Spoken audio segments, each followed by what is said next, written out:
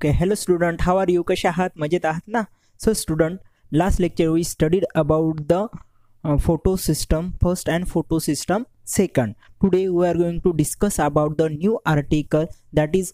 phosphorylation okay what is a phosphorylation and various type of phosphorylation so student today we are going to discuss about the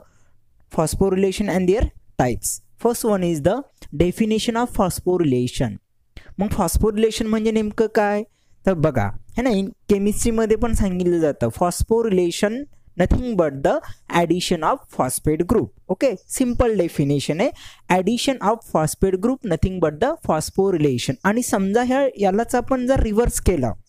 म्हणजे phosphate group जर निघून गेला removal of the phosphate group nothing but the de relation okay are you got my point phosphorylation and dephosphorylation. Addition of phosphate group that is phosphorylation and removal of phosphate group that is dephosphorylation. Okay, definition of phosphorylation. Then second point, मग आता इथं असं पण म्हणू शकतो बघा आपण synthesis of A T P कसलं सिंथेसिस होणार ए टी पीचं ठीक आहे synthesis of A T P with the help of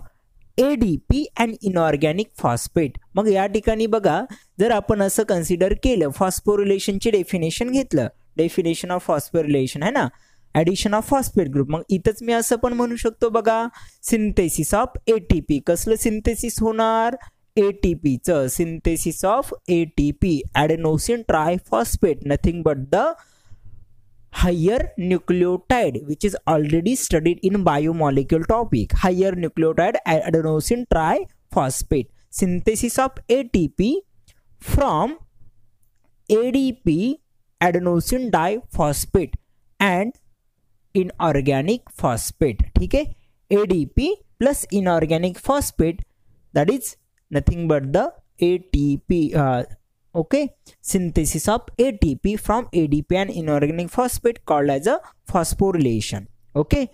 there are three types of phosphorylation first one is the photophosphorylation second oxidative phosphorylation and third one is the substrate level phosphorylation okay photophosphorylation then oxidative phosphorylation and substrate level phosphorylation so student we see the first that is photophosphorylation. What is the photophosphorylation? Definition of photophosphorylation. Simple definition.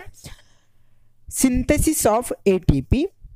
from ADP and inorganic phosphate. Here also synthesis of ATP. मग ATP कसं बनणार? Addition of phosphate group. कुठे होणार? ADP मध्ये होणार. म्हणजे काय होतं फॉस्फोरिलेशन कोणाचं होणार एडीपीचं होणार है ना phosphorylation of A D P आणि आपल्याला काय मिळणार then we get A T P molecule okay मग डेफिनेशनमध्ये तेच दिले फक्त चेंजेस कोणतं आहे बघा या ठिकाणी synthesis of A T P कसलं सिंथेसिस होतं आहे A T पीचं synthesis of A T P A T P adenosine triphosphate higher nucleotide okay A T P synthesis of A T P from कशापासून होणार A D P plus inorganic phosphate synthesis of ATP from ADP and inorganic phosphate by using light energy है ना कोणती energy use होणार light energy that is light और sunlight ठीक आहे light energy आणि काय असेल या ठिकाणी क्लोरोफिल बघा क्लोरोफिल ह्या दोघांमधला एवढाच डिफरन्स आहे इथं काय झालं ॲडिशन ऑफ फॉस्फेट ग्रुप धाडलं that is photo that is photo phosphorylation आणि ए टी पी बनलं इथं काय होतं ॲडिशन ऑफ फॉस्फेट होतं पण कसं होणार इन प्रेझेन्स ऑफ लाईट होणार means synthesis of A T P from A D P and organic phosphate in presence of light nothing but the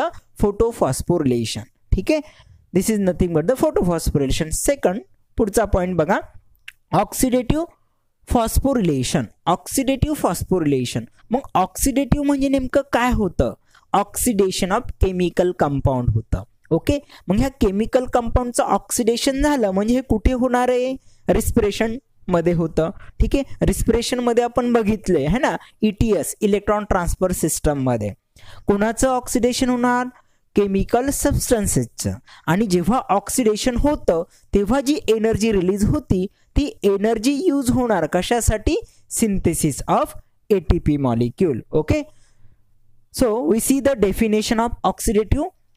phosphorylation some chemical organic some substances chemical go undergo oxidation some some chemical under undergo oxidation releasing certain amount of energy म्हणजे काय झालं oxidation झालं की काही energy release होणार okay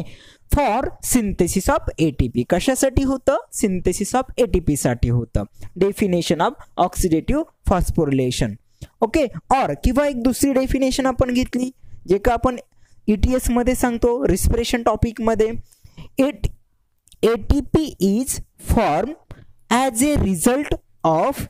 the the transfer of electron काय होणार electron transfer होणार transfer of electron from N A D H two और F A D H two reduce the nicotinamide adenine dinucleotide okay reduce the flavin adenine dinucleotide इकड़न electron काय होणार transfer होणार ठीक है transfer of electron from N A D H two और F A D H two to oxygen molecule by series of electron carrier okay आणि मग जेव्हा electron transfer होतात त्यासोबत प्रोटॉन होणार आणि प्रोटॉन जेव्हा ट्रान्सफर होतात high concentration to low concentration तेव्हा काय होतं एनर्जी असते ती एनर्जी का यूज केली जाते कशासाठी तर A D P and inorganic फॉस्फेटपासनं A T P बनवण्यासाठी म्हणजे काय झालं इथं पण synthesis of A T P झालं पण कशामुळे झालं due to the oxidation of compounds or chemicals त्यामध्ये एनर्जी रिलीज होणार त्या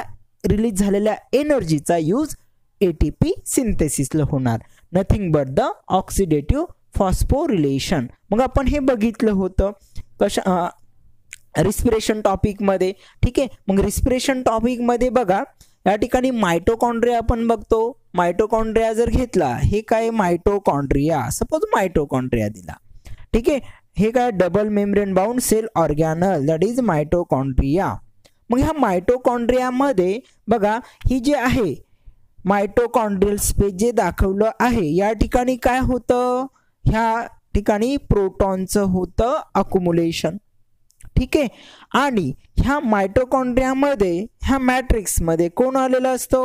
ओ टू असतो ऑक्सिजन असतं ठीक आहे ऑक्सिजन ॲटम असणार ऑक्सिजन मॉलिक्युल असणार हा जेव्हा इलेक्ट्रॉन घेणार काय घेणार इलेक्ट्रॉन घेणार तेव्हा हे प्रोटॉन पण काय होतात या ठिकाणी याला न्यूट्रल करण्यासाठी पुन्हा काय लागतात प्रोटॉन लागतात ठीक आहे मग यापासनं काय बनतं फायनली मेटाबॉलिक वॉटर बनतं after getting protons as well as electron means oxygen nothing but the final electron proton acceptor in E T S रिस्पिरेशनमध्ये ठीक आहे तेव्हा मग काय होतं जेव्हा प्रोटॉन आहेत प्रोटॉन ह्या पेरीमायटोकॉन्ड्रियल स्पेसमधनं जेव्हा मॅट्रिक्समध्ये येतं तेव्हा काय होतं तर या ठिकाणी ए टी पीचं सिंथेसिस होतं okay this is nothing but the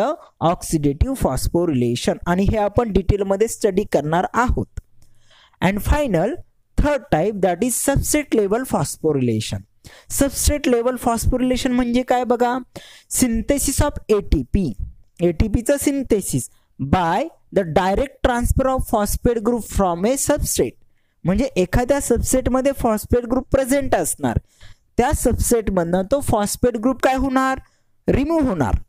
ठीक आहे आणि कुठे ॲड होणार ए डी पीला ॲड होणार आणि काय बनेल ए टी पी बनणार ठीक आहे फॉर एक्झाम्पल बघा जर आपण घेतलं